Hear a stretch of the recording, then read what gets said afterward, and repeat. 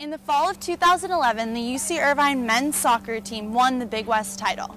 They proceeded to lose in the first round of the NCAA tournament, a devastating way to end such a positive season.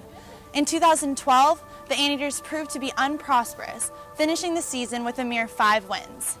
However, the young 2012 team has grown under the guidance and leadership of the four seniors, making them into the successful 2013 team that they are today. Hi, I'm Ella Rosenfeld with UCIrvineSports.com and Anteater TV, and this is a look into the successful season that the Anteaters have had so far through the eyes of the seniors.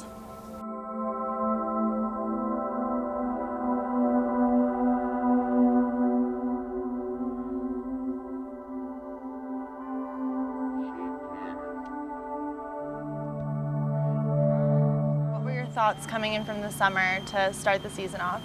Um, summer, uh, you know, we started off pretty not too good. Uh, my junior year, I wanted to come in the season with the guys we have, uh, Tarek, Marco, Kike, and myself. Uh, we wanted to come in and definitely show something different. Um, we knew that we were good our junior year, just I don't know what it was. Couldn't get any wins, it seemed like, and then this year, uh, definitely doing better as a team, and I don't know, just something different happened that we're getting the, the results. Last season we had a, a really young team. Um, I think half of our roster consisted of um, you know freshmen and a couple of transfers. Um, and you know we were a little bit inexperienced and we gave a lot of games away in you know the last 10 minutes and even in overtime. And um, you know I just didn't think we had that extra little push to finish off games. And um, we were a little bit inexperienced in that area. Um, but this year, you know, I think we're uh, we have a couple more games under our belts um, as a team and um, as a starting eleven, and uh, we know each other's tendencies and we know the you know the way we all play. Um, yeah, the senior class has always been close since since I came in.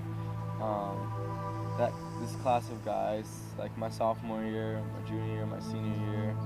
Um, well, right now there's only four seniors left: me, Kike, Marco, and Chino. But um, we've been really close.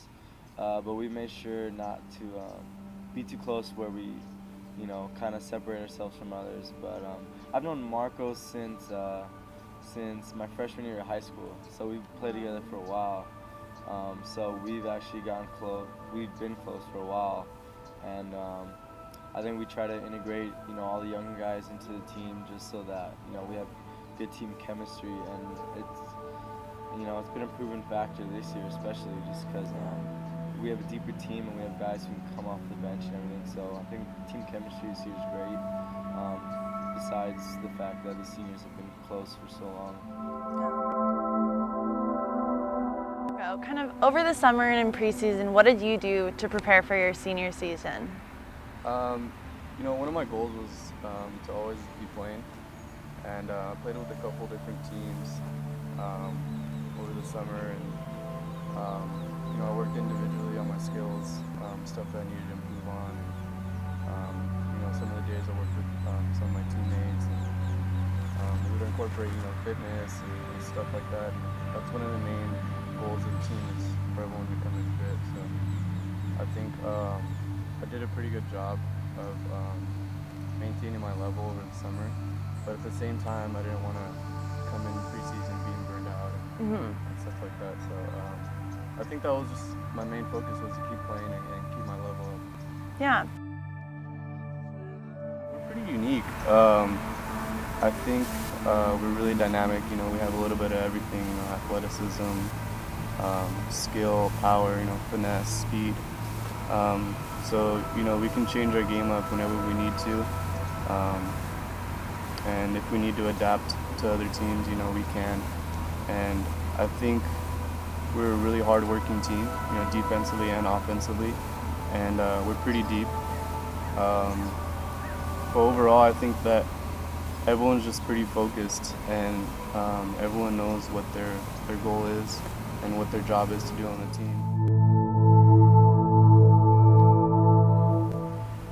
I prepared uh, better for this season than I have for previous years. So that's something that I did different. I think it's helped out a lot so far. Um, and yeah, um, as you can tell with our record this year, it's it's made a difference. And I think for a lot of other guys as well. And I'm really interested in soccer and becoming successful, not even like during college and after college as well. We want to hopefully play to the next level and just some dream we all have and want to accomplish. yeah.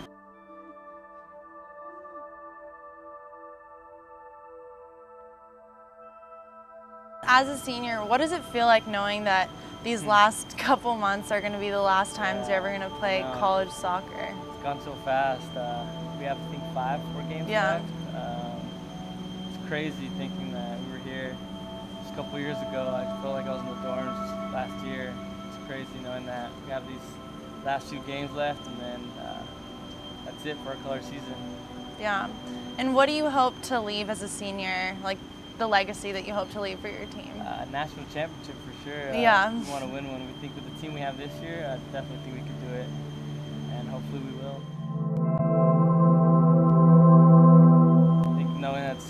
Last practice here and one of my last couple weeks here, hopefully more if, when we get further into the Yeah. tournament. But um, it's definitely uh, a little emotional knowing that it's the last couple of practices and games, but uh, it's all worth it in the end if we win that national championship. Yeah. Basically, that's what the coaches look for me now. I'm basically the guy who like organizes everyone, uh, gets everyone ready and focused, and you know, uh, you know, I'm, I'm happy to do that.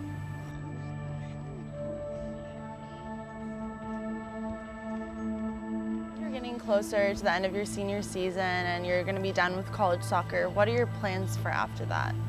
Uh, I definitely want to try to go professional.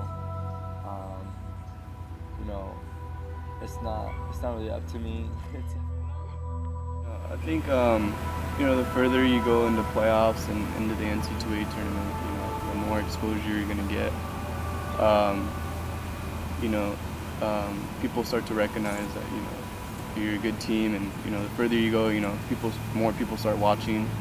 Um, you know, scouts start coming from all over the nation, and um, they want to watch you play and, and see what your team's all about. I definitely aspire to go far and to pursue playing professionally after college. But um, you know, I'm just gonna take it day by day, week by week, see how it goes, and if something comes up, then I'm definitely gonna take my opportunity to keep playing. Yeah. As far as individual, I think that once you get to that level, um, you know, you need to play well and you need to showcase your talents. And, you know, that's when scouts are going to see if you're ready for the next level or if they want to pick you up. So um, I think it has to do with both. Um, you know, you need a lot of team exposure, but at the same same time, you need individual talent to get to the next level. Um, I want us to be be known as you know a, a successful team. Um, you know, I think our program has has come from a long way.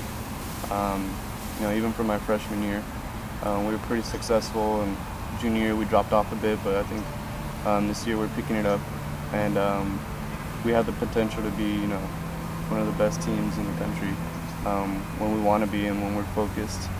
And um, you know, when I leave, I want the program to succeed and to stay atop.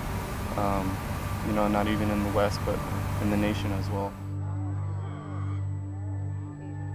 With the 2013 season coming rapidly to an end, it's only a matter of time before we see the legacy that this team will leave. And once again, I'm Ella Rosenfeld reporting to you for UCIrvinesports.com and Anteater TV. We'll see you next time.